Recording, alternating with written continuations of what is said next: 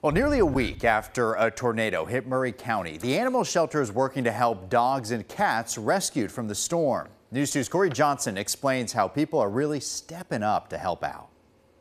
They are traumatized. Every one of them that we've brought in is in shock. I mean, they're just shaking, they're scared to death. In Maury County, dozens of animals have been rescued following last week's deadly tornado. Staff say the shelter was at capacity before the storm hit, and volunteers and staff are now working around the clock. We are just doing our best to try and keep up with everything. We are finding that we're getting more animals here that are trickling in after the storms. In an effort to help, Williamson County Animal Center staff not only sent technicians to help right after the storm, but they also took in four litters of cats that weren't storm rescues. This as Maury County Shelter already had nearly 60 cats before the tornado hit.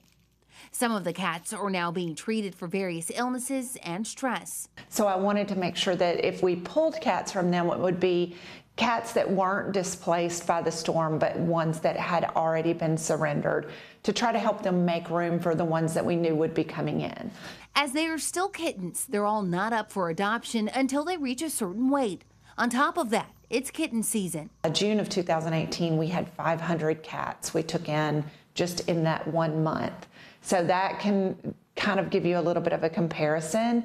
We'll see about a thousand total through the summer this year versus 500 in just one month just six years ago. Staff from both shelters say it's important to band together to help animals, especially in emergency situations.